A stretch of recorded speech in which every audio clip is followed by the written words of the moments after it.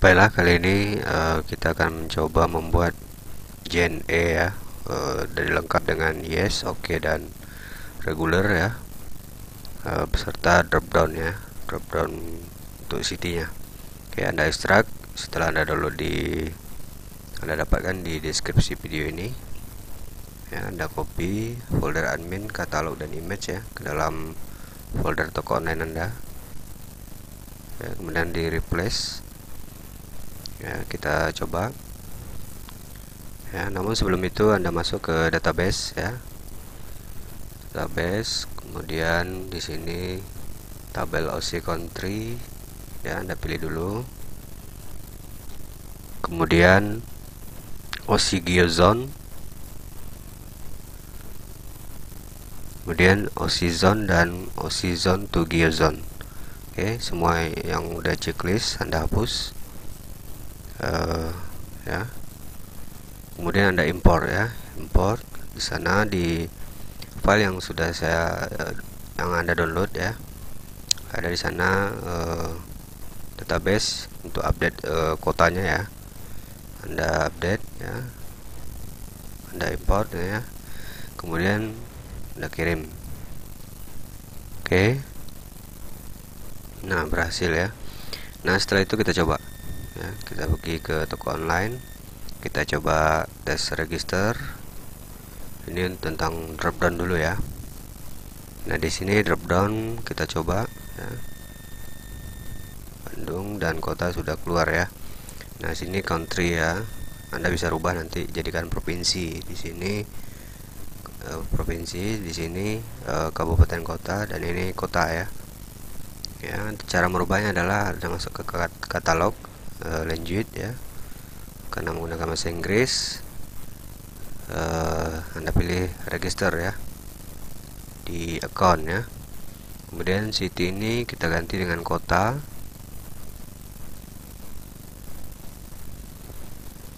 Country kita ganti dengan uh, provinsi region atau state ini kita ganti dengan kabupaten atau kota ya ini jika ingin diganti ya. Nah seperti ini sudah tampil seperti ini ya. Oke selanjutnya hmm, tentang shippingnya ya. Oke anda masuk ke admin area dan aktifkan. Ini saya matikan dulu ya. Uninstall ya. Flat red kemudian kita aktifkan JNE nya. Di sini sudah masuk tiga ya. Ada tiga metode shipping JNE pertama kita install dulu regular kemudian kita edit ya. Di sini ada cost nah cost ini kita enablekan dulu. Anda ambil di file yang sudah di download ya. Kemudian anda copy ya. Anda paste di cost ya. Kemudian uh, kita simpan ya namun sebelum itu kita cek dulu ya. E, seandainya toko kita berada di Jakarta ya. Jakarta kemudian kita mengirimnya ke Bukit Raya yang ada di Pekanbaru ya. Misalkan seperti itu beratnya satu kilo kita coba cek di website JNE ya.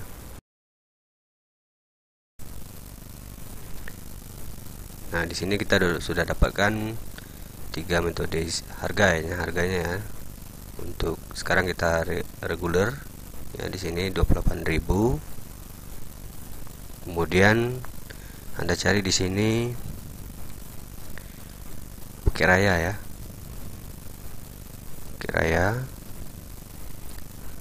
Nah kemudian anda cari lagi di sini ada dua ya. Ada dua kota yang namanya Bukit Raya.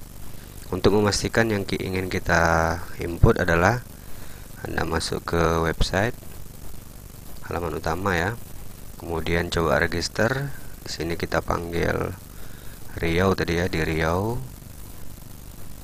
Pekanbaru ya. Kita inginnya di Bukit Raya yang di sini ya. Untuk melihat kodenya adalah klik kanan di kota ya, inspeksi, inspeksi halaman. Kemudian di sini sudah ada ya 4810 untuk Bukit Raya kodenya maka anda cari kode yang 4810 ya. Ya, di sini 28.000 kita dapat tadi. Anda tinggal mengisi di sebelahnya ini ya. Tanpa titik atau koma. Ya. Kemudian yang JNE oke okay, juga seperti itu ya. Anda tinggal lakukan copy costnya sesuai dengan yang di download ya. Dan ini kode di sebelah belakangnya Anda tidak boleh rubah. Ya sekarang oke okay, 24.000 ya.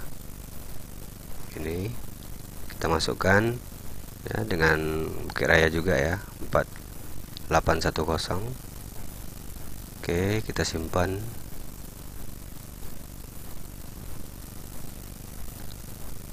Setelah itu JNES ya kita install dulu uh, copy costnya ya. Bukit Raya juga ya. Tadi kita dapatkan 35.000 ya untuk yes. Nah dari isi 35.000 oke. Okay. enablekan dan simpan. Nah kita coba cek ya. Oke okay, kita daftar dulu ya. Check out. Ini seolah kita sebagai konsumen ya kita daftar.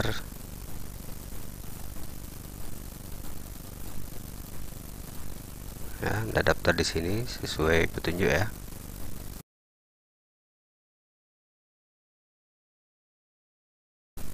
Nah di sini kita coba. Kita di Riau ya ya. Konsumennya di Riau ya. Dia mau kirim barangnya juga di Riau. Dan di sini dia menulis alamat penagihannya di Riau kemudian delivery juga sama alamatnya. Kita continue ya. Nah seperti ini Eh, dia minta alamat yang sama dengan alamat penagihan. Kita lanjutkan. Ops, terjadi kesalahan ya. Karena tidak tampil ya. Kenapa tidak tampil? Kalau kita cek di sini ya, Bukit Raya kita cari lagi yang tadi 4810 ya tidak ada nah kita lihat kos hanya sebagian yang terisi tidak full semuanya Nah, kalau kita lihat di sini ada 6000 ya. Untuk mengatasinya masuk ke database ya. Anda cari tabel OC setting ya, masuk ke struktur. Di sini ada value ya, kita rubah ya. Jenisnya kita teks ini kita menjadikan long text ya. Karena dia tidak bisa menyimpan banyak tadi ya. Sekarang kalau udah long long text akan menyimpan lebih banyak ya data ini. Ya kita simpan kita cari bukit raya lagi. Kita masukkan lagi ya costnya. Ini regular tadi ya 28.000 save. Ya kita cek apakah sudah masuk 6.000 ya oke sudah tersimpan ya. Kita cek sekarang kita coba. Oke udah keluar ya. Nah ini 28 karena kalau kita cek ya. Produk ini 10 kilo. Ya maka 28.000 dikali 10 ya jadi 280 selanjutnya kita pilih nah di sini juga ya kita rubah karena yang tersimpan hanya separuh ya. Harga juga kita rubah lagi ya untuk oke okay. 24.000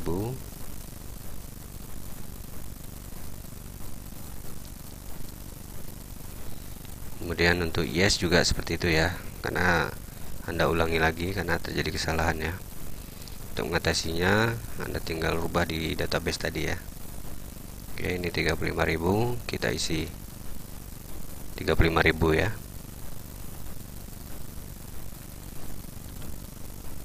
Nah kita cek lagi kita ulang. Maka sudah tampil semua ya. Nah tadi di sini harga sudah saya rubah ya. Quantity itu produk menjadi satu ya. Oke kita lanjut. Compare order ya. Kita lihat historinya. Ya, di sini sudah tampil ya tampil kota kode pos dan ini ya untuk pengirimannya ya 11 tadi untuk penagihannya Oke. Nah, sekarang kita cek di admin area ya yang berbelanja.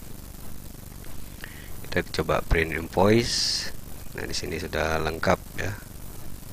ya payment sudah lengkap semua di sini ya. Sampai kota juga sudah tampil. Kemudian shipping detail ya, kemudian produk sudah tampil di sini. Oke, sudah di sini sudah lengkap ya.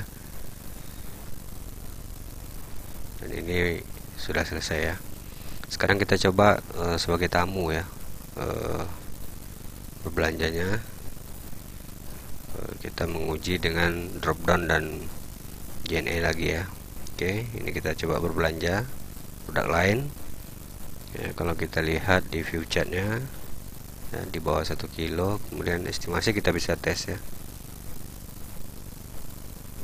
Saya mengirimnya ke Riau tadi ya karena Riau sudah saya isi uh, sudah kita isi biayanya tadi ya.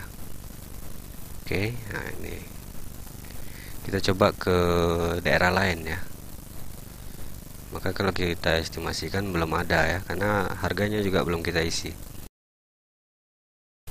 Oke kita contohkan ya kita check out. Kemudian anda daftar sebagai tamu ya. Jadi daftar sebagai tamu ini tidak tersimpan ya uh, untuk data customer. Cuma uh, di order sudah ada invoice nya ya untuk mereka yang berbelanja tanpa mendaftar ya. Nah seperti ini ya, dia ber berasal dari Medan misalnya ya dari kota Medan ya. kemudian dia ingin kirim dia berbelanja ya dengan alamat yang berbeda dari penagihan. Dia mau kirim ya seperti ini. Dia mau kirim ke Sumatera Utara juga ya ke Kabupaten Asahan ke Aek Kuasan ya. Jadi dia dari Medan Kota. Nah ini tidak tampil ya karena kita harus mengisi dulu uh, kotanya ya uh, biayanya di JNE Oke kita cek ya dari Jakarta ke Kuasan ya.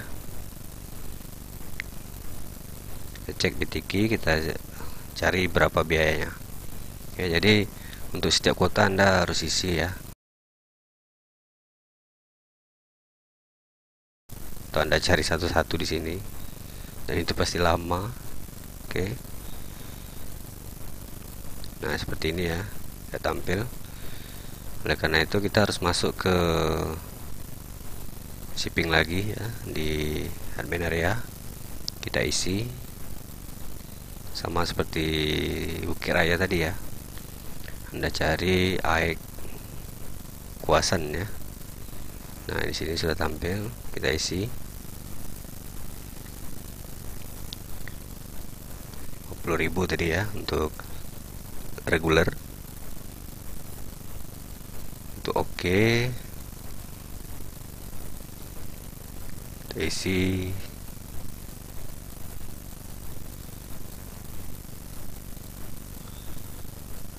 nah kita cek ya namun kita sebelum memastikannya ya kita cek dulu kode kota sini ya 6113 oke okay.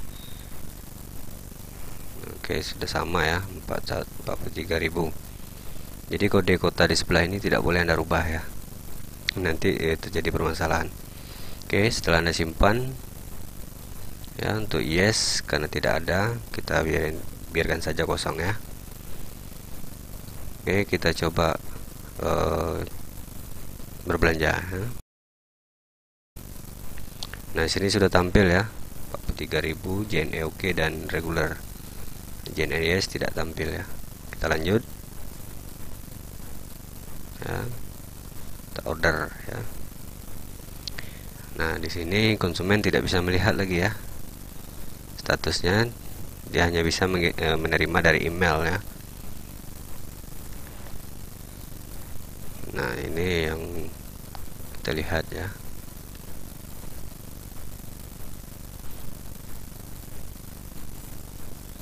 oke.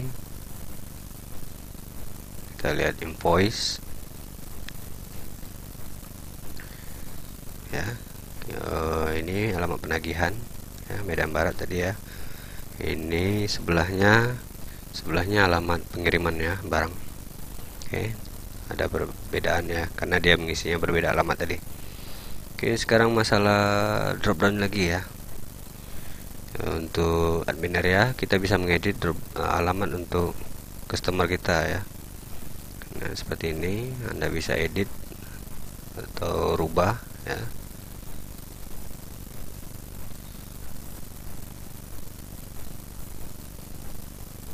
Anda bisa juga kita cek lagi ya setelah kita rubah. Oke sama ya. Sudah tersimpan. Kemudian Anda bisa juga tambah ya Nah setelah itu kita coba lagi uh, untuk tambah customer lain ya. Ya dengan alamat seperti ini. Anda bisa isi ya. Nah, ini sudah lengkap dengan drop down uh, hingga ke kota ya.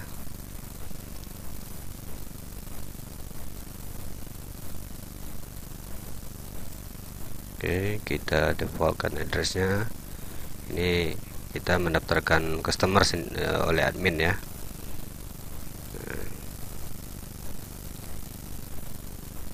Oke alamatnya ini ya. Sudah tersimpan. Oke kalau kita ingin login ya customer. Kita coba login yang kita daftarkan dari admin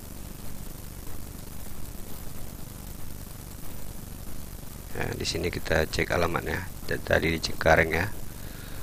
Oke. Nah, sudah selesai ya. Oke, itu saja. Terima kasih.